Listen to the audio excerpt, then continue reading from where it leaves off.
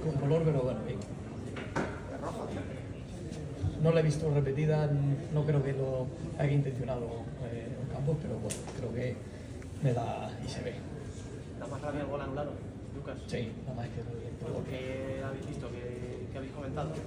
Falta, no sé si luego habéis visto el descanso, la imagen repetida, la has podido ver después. Sí, es un poco lo que viene eh, siendo habitual ¿no? con el paso de las jornadas, que quizás eh, muchas veces eh, el rearbitrar jugadas hace que, que, se cree más conflicto del que había antes. ¿no? Creo que al final el fútbol es fútbol, creo que eh, los árbitros son parte del juego y creo que est estamos quitándoles eh, eh, esa, esa, presión, esa función que deben de tener en los campos y, y que al final pensamos que con, con, la inclusión del VAR iba a acabar la polémica, pero lo cierto es que hay más polémica. ¿no? Creo que habría que pensar en, en tomar otras medidas que hagan que, que, al final el VAR entre en, en cosas fuera de juego los goles, en, goles fantasma, creo que en cosas eh, básicas para que los árbitros sigan, sigan teniendo su función y sigan teniendo eh, responsabilidad en el juego. ¿no? Creo que al final eso sería bueno para todos, para también el, que, en el fútbol español los árbitros eh, tienen un gran nivel, pero creo que al final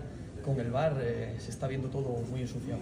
Lucas, ¿entiendes que entre el VAR para anular el gol tuyo esa falta de, de Nacho sobre Nesiri y no entre con la falta de Navas que puede ser posible roja sobre Vinicius? Son dos jugadas que son faltas y en una puede ser roja, eh, no se pita ni amarilla, eh, saque de puerta y la de Nacho se anula el gol. Sí, es lo, lo que te digo, ¿no? Creo que al final eh, no hay un criterio eh, eh, base para, para, para, ejecutar todo ese tipo de, de, jugadas, ¿no? Creo que al final estamos eh, confundidos, confundidos tanto los jugadores, los árbitros, todos, el público, y creo que se está ensuciando todo. Lucas, habéis tenido, habéis tenido enfrente a, a Sergio Ramos. ¿Cómo ha sido ese reencuentro? ¿Cómo ha sido la semana también previa? ¿Cómo lo habéis vivido esos, esos momentos de, de encontraros con una leyenda del Real Madrid? Bien, espectacular, ¿no? Creo que eh, Sergio ha sido un jugador importantísimo en la historia del Real Madrid y, y, se merece todo, todo lo bueno que le pase, ¿no? Ha sido un partido especial para él y, y estoy seguro que lo ha vivido con mucha emoción. Lo importante es que no se ha vacunado. No, no. Una ovación y ya está. ¿Entiendes que haya habido algún No, no entiendo.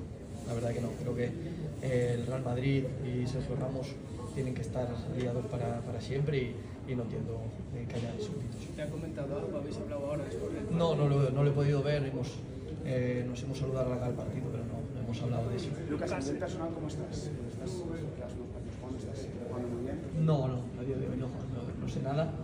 Eh, yo estoy bien, estoy tranquilo. Eh, eh, ahora que, estoy participando más, pues estoy mejor, más feliz, más confianza.